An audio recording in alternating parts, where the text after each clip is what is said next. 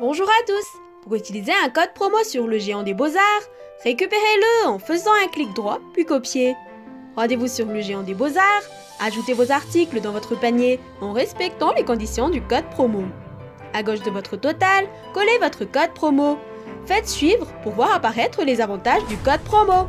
A bientôt sur moindépenser.com